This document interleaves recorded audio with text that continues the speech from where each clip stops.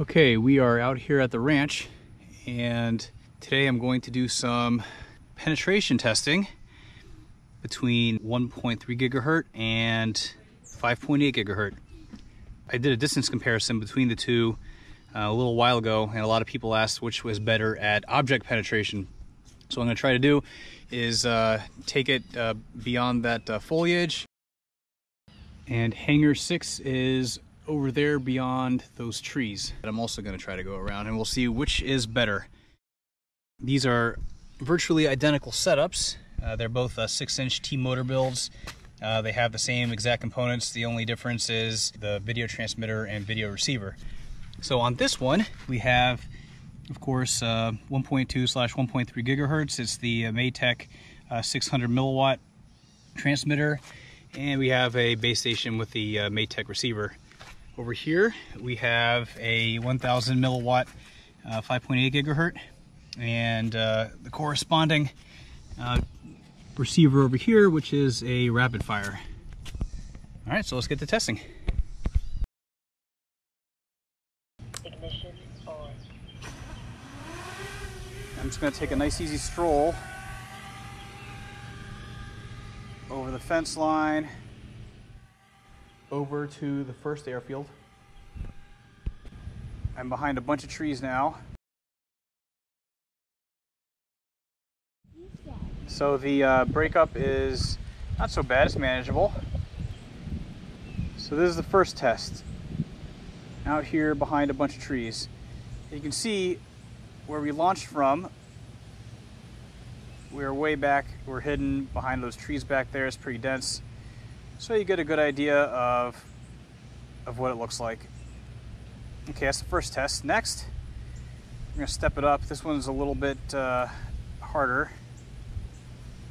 We are gonna go over here to hangar six. So it is already pretty bad. I might have to bail, we will see. Oh, this hurts. My RapidFires. Oh, I cannot see. Can't even go behind the building. Well, that answers that. Now let's come home.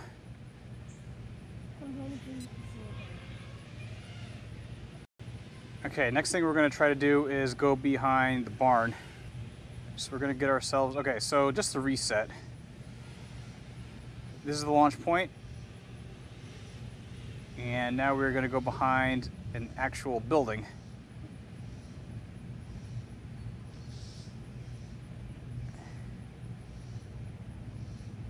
Okay, so 5.8 is handling this pretty well. Doesn't like it, but it's handling it pretty well. Still navigable. Okay, that's pretty good. Okay.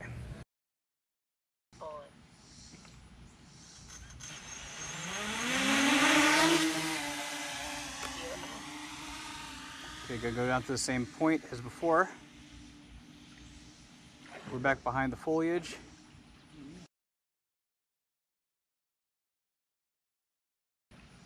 And I think one of the problems is that it's not uh, multipathing or it's not uh, diversity. It handles pretty well out here. You can see where we came from and where we are. Now we're gonna go out to hangar six.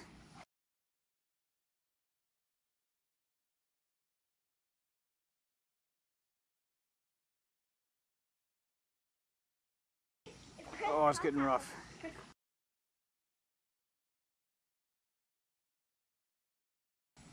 That's pretty good. Since it's one, Before, it was really shaky here. Oh, okay. All right, here we go. We're gonna go, go behind the actual hangar.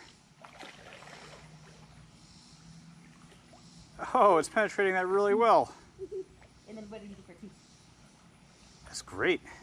Before I couldn't uh, even get back behind this building, but uh, with 1.2, 1.3 I can. All right, now we're gonna go behind the barn.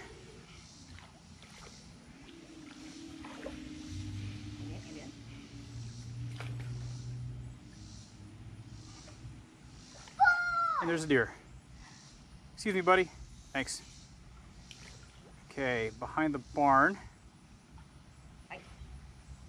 Seems to work just fine. It works pretty well, actually. If this was diversity or if this was multipathing, then it would be even better. There you go.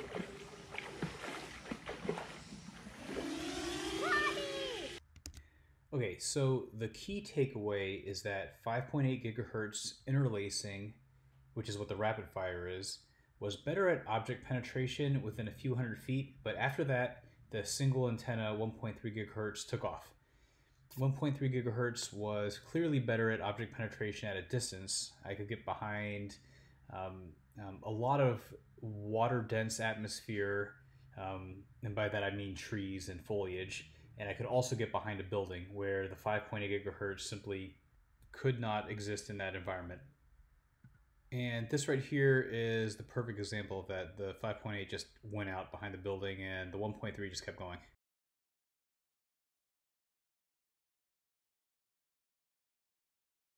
The interlacing RapidFire module is what kept the 5.8 gigahertz competing with the 1.3 gigahertz module. The Matek was a single antenna system. It wasn't even diversity, let alone interlacing. If the 1.3 gigahertz was interlacing, it would be the clear winner.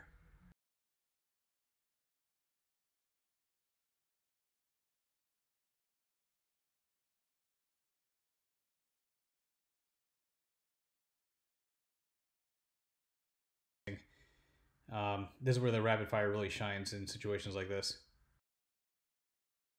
All right, there you go. Don't forget to like and subscribe. And I'm just, kidding. You're not going to subscribe.